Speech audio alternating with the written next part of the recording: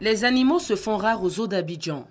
Une population estimée en 1930 date de sa création à près d'un millier et aujourd'hui réduite à seulement 191 bêtes.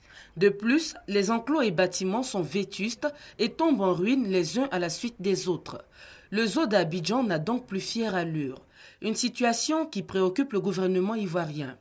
Environ 600 millions de francs CFA sont mis à la disposition du ministère des Eaux et Forêts pour sa réhabilitation. Mais avant, une visite sur les lieux pour évaluer le volume du travail à réaliser. Nous sommes venus voir l'ampleur des travaux à faire afin que nous puissions apprécier au niveau des crédits qui nous sont alloués si euh, c'est suffisant et je pense que c'est largement suffisant et que d'ici décembre, on pourra réhabiliter le zoo dans ces infrastructures. Un zoo qui, d'ici à 2014, présentera un visage plus reluisant que cette broussaille. Mais en attendant la réhabilitation, les amoureux de la faune vont devoir se contenter des quelques survivants, dont Cannes, le seul éléphant bien inquiet semble-t-il sur son avenir.